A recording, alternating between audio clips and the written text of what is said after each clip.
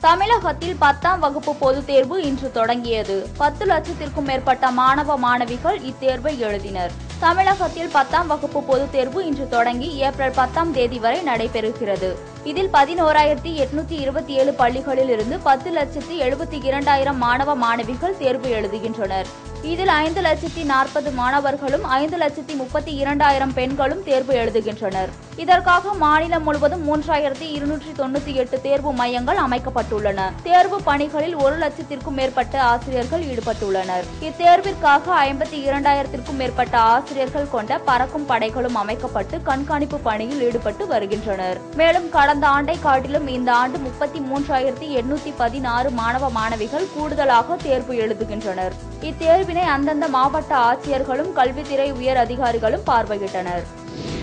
பகுதி நேர கிராம அஞ்சல் ஊழியர்களை பணி நிரந்தரம் செய்ய வேண்டும் என மத்திய அரசுக்கு பாமக நிறுவனர் ராமதாஸ் கோரிக்கை விடுத்துள்ளார். இது தொடர்பாக ராமதாஸ் வெளியிட்டுள்ள அறிக்கையில் இந்தியா முழுவதும் உள்ள மூன்று லட்சத்திற்கும் மேற்பட்ட கிராமப்புற பகுதி நேர அஞ்சல் தொழிலாளர்கள் பல்வேறு கோரிக்கைகளை முன்வைத்து கடந்த பத்தாம் தேதி முதல் வேலைநிறுத்தம் மேற்கொண்டு வருகின்றனர். அவர்களின் வேலைநிறுத்த போராட்டம் இன்று பத்தாவது நாளை எட்டியுள்ளது என்று ராமதாஸ் தெரிவித்துள்ளார். ஊரக பகுதி நேர அஞ்சல் தொழிலாளர்களுக்கான பணி நான்கு மணி நேரம் மட்டுமே என்ற போதிலும் எல்லா நாட்களிலும் இவர்கள் எட்டு மணி நேரம் வேலை செய்ய வேண்டியிருக்கிறது. இதற்காக இவர்களுக்கு தரப்படும் ஊதியம் மிக மிக குறைவு. இருபத்தைந்து ஆண்டுகளாக பணியாற்றுவோருக்கு கூட எட்டாயிரம் ரூபாய் மட்டுமே ஊதியமாக வழங்கப்படுகிறது. இத்தகைய சூழலில் பணியாற்றும் கிராமப்புற பகுதி நேர அஞ்சல் தொழிலாளர்கள் தங்களை பணி நிரந்தரம் செய்து காலமுறை ஊதியம் வழங்க வேண்டும் என்று கோருவது மிகவும் நியாயமானது என ராமதாஸ் குறிப்பிட்டுள்ளார். மேலும் இப்பிரச்சினைக்கு தீர்வு காண்பது குறித்து மத்திய அரசு எந்த பேச்சுவார்த்தையும் நடத்தாதது வருத்தம் அளிப்பதாக ராமதாஸ் தெரிவித்துள்ளார்.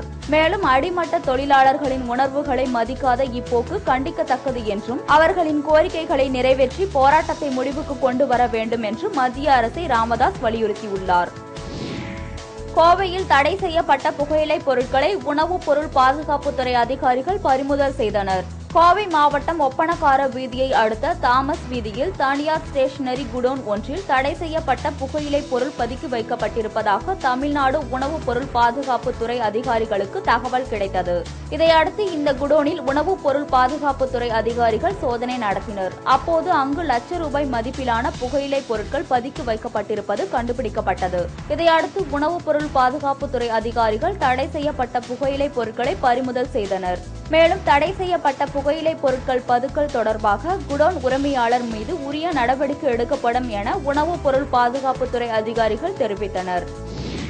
நாகை மாவட்டத்தில் நாகூர் தர்கா கந்தூரி விழாவின் தொடக்கமாக மினராக்களில் பாய்மரம் ஏற்றும் நிகழ்ச்சி வெகு விமர்சையாக நடைபெற்றது. நாகை மாவட்டத்தில் உள்ள நாகூர் தர்கா தமிழகத்தில் மிகவும் பிரசித்தி பெற்றதாக விளங்குகிறது.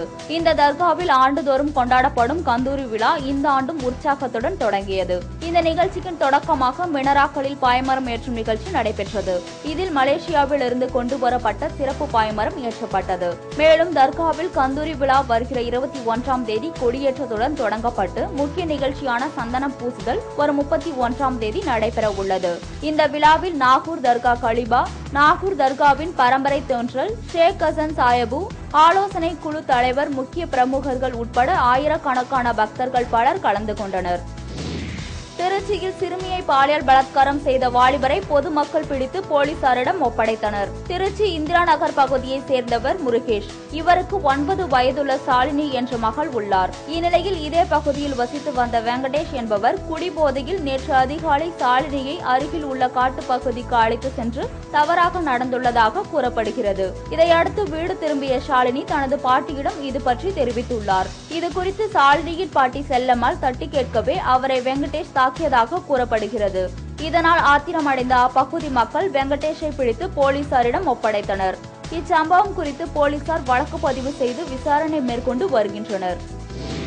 காஞ்சிபுரத்தில் மகளிர் புதுவாழ்வு திட்டத்தின் கீழ் மகளிர் சுய உதவி குழுவில் சிறந்து விளங்கும் பெண்களுக்கு பரிசுகள் வழங்கப்பட்டது. தமிழக அரசின் ஊரக வளர்ச்சி மற்றும் ஊராட்சி துறையின் கீழ் செயல்படுத்தப்பட்டு வரும் புதுவாழ்வு திட்டத்தின் கீழ் கிராம பகுதிகளில் உள்ள ஏழை மிகவும் ஏழை மாற்றுத்திறனாளிகள் மற்றும் நலிவடைந்தோர்களை சமூகத்தில் ஆற்றல் மிக்கவர்களாக மாற்ற அவர்கள் வாழ்க்கை தரம் மேம்படுத்த அரசு பல்வேறு நடவடிக்கைகளை மேற்கொண்டு வருகின்றது. அதன்படி காஞ்சிபுரம் மாவட்டத்தில் உள்ள குன்றத்தூர் மதுராந்தகம் அச்சரப்பாக்கம் மற்றும் மற்றும் உத்திரமேரூர் ஆகிய ஊராட்சி ஒன்றியங்களில் சுய உதவி குழு மற்றும் ஊராட்சி அளவிலான கூட்டமைப்பு மற்றும் ஒத்த தொழில் குழுக்கள் போன்ற சமூக அமைப்புகள் உருவாக்கப்பட்டு அதன் மூலம் சுய உதவி குழுவில் சிறந்து விளங்கும் பெண்களுக்கு பரிசுகள் வழங்கப்பட்டது. மாவட்ட ஆட்சித்தலைவர் தலைமையில் நடைபெற்ற இந்த விழாவில் ஏராளமான அதிகாரிகள் பொதுமக்களும் கலந்து கொண்டனர்.